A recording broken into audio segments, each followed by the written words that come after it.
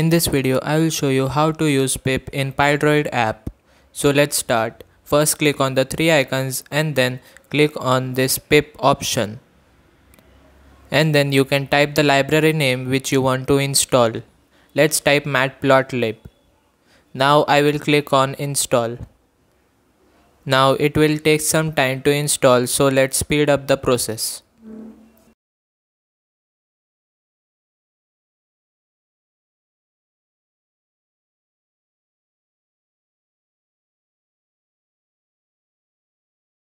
As you can see our installation is completed now.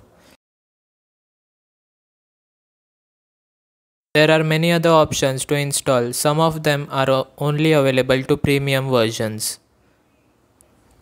Now let's paste a matplotlib code to check whether a matplotlib is imported or not.